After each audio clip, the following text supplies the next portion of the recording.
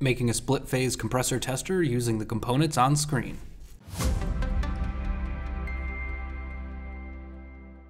Most cords don't come pre-stripped as you see, so I'm going to show you how to go ahead and strip the cord.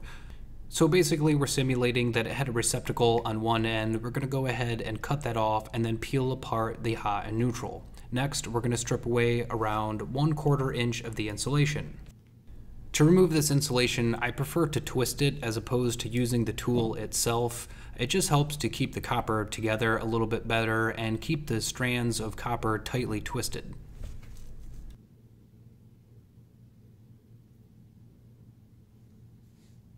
Next, we're going to crimp on our connectors, and these connectors we're using are 2.8 by 0.5 millimeter and can commonly be found online and usually are bought in packs of around 50 to 100. Once the connector is in place, we need to go ahead and crimp it. And there's a variety of different crimping tools that you can find out there, most commonly found at any hardware store. However, to be completely honest with you, when done properly, just a regular pair of pliers will do the trick. Be sure that your crimps are tight, as any loose connection is a bad connection.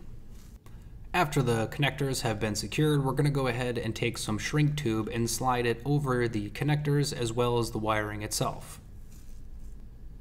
After we shrink down this shrink tube, this allows the wiring to be a little bit more rigid and deal with everyday use. It also prevents the crimp-on connectors from accidentally being pulled off. However, if they are in need of being removed, you should always grab the connector and never pull on the wiring.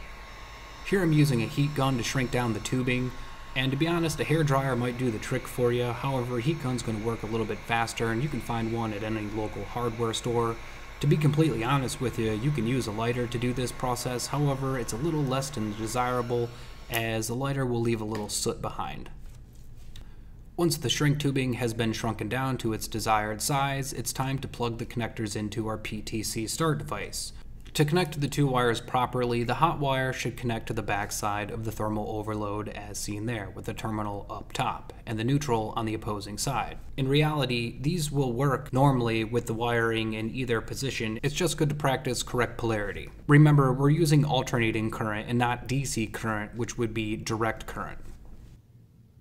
Once the terminals have been connected to your PTC start device, it's ready to use. Simply plug onto the compressor in question and plug the start device into the wall. If the compressor runs, either the compressor previously was not getting power or had a faulty start device. If the compressor does not run, the compressor is faulty and will need to be replaced.